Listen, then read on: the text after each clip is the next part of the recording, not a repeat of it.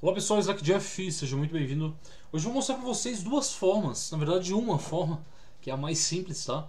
De você setar um wallpaper aí no seu i3 ou no seu i3 Gaps, né? É, as duas formas são, a primeira forma seria com o Fe, eu já vou explicar o que, que ele é, e o Nitrogen. E tem outras formas também, só que eu, uso, eu, sempre, eu sempre usei essas duas, tá?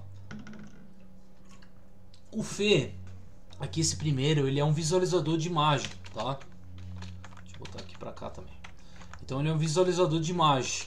E o que é um visualizador de imagem? Via terminal. Então a gente, por exemplo, vamos supor que lá em Pictures SSD, né, eu tenho as minhas imagens, eu queira ver as imagens aqui, é só dar um F aqui dentro, no diretório eu vou conseguir visualizar as imagens aqui, ó, via terminal, tá vendo, ó?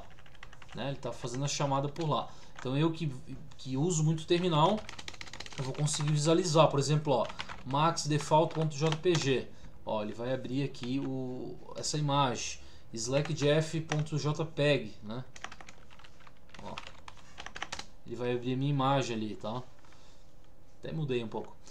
então ele vai fazer isso aqui. O Feu é um visualizador de imagem que é leve, tá? E o Nitrogen ele já foi feito para quê? Para é, fazer essa setagem de wallpaper, né? Trocar o background ali, da imagem do background. Então é mais simples fazer com ele. Primeiramente, eu vou abrir ele aqui, ó, Nitrogen, tá? Ele tem uma interfacezinha. Tá disponível em qualquer distribuição, tá? É, tem no Slack Builds aqui para quem usa Slack, ele está presente em qualquer distribuição. Vou abrir o Nitrogen, olha só, ele abriu uma série de imagens aqui, né? Que ele está setado aqui, ó. Se eu vir aqui em preferências, tá vendo aqui, ó, preferências. É, eu tenho aqui, ó, como setar aqui em directories, ó, vou deletar aqui, ó. Dá um ok, ó, ele vai sumir tudo, ele vai abrir assim para você. Você pode vir em preferências, dar um adicionar aqui e adicionar um de um diretório onde tem imagens. No caso aqui, ó, Pictures SSD, ó. Selecionei, ok. E eu tenho outras formas aqui, eu botar recursivo e tal, né? Deixa eu botar em lista aqui, ó. Olha, vai ficar dessa forma. Então eu posso selecionar várias coisas. Eu vou botar do jeito do ícone lá que eu gosto mais, tá? É... Também a gente pode botar com, com os nomes aqui, ó. Então ele tem várias formas aqui de trabalhar.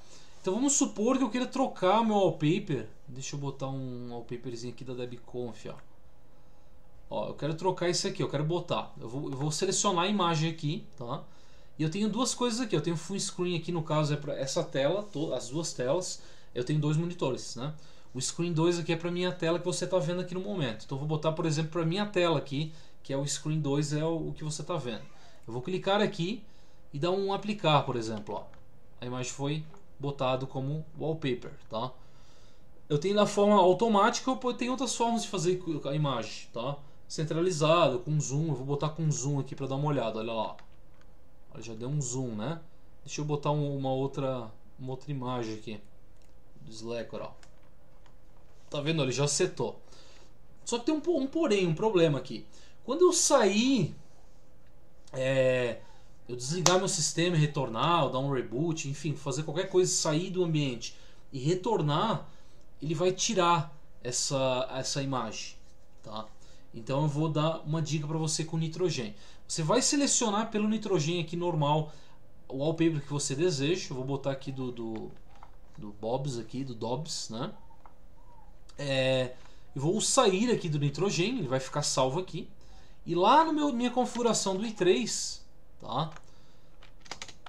Que tá, eu tô no meu home aqui, eu tenho um config aqui o i3 e barra config. Eu tenho aqui um documento lá embaixo que eu adiciono, que é essa linha aqui, ó. exec traço traço no start up traço id nitrogen, né, chamado nitrogen, traço traço restore. O que, que vai fazer essa opção do restore aqui no nitrogen? Ele vai restaurar a última imagem que você selecionou, tá? Então, a imagem do, do Dobbs aqui que vocês viram, ele vai setar sempre assim. Eu reiniciei meu sistema, ele vai voltar com essa imagem aqui. Se eu abrir agora o nitrogênio, por exemplo, eu vou chamar pelo terminal aqui mesmo, tá? Abrir o nitrogênio, é, estou lá no meu nano, né, no, no meu config do i3 aqui. Eu estou com outra imagem, por exemplo, esta imagem aqui, ó. Eu vou botar essa imagem aqui, ó. Apliquei, né?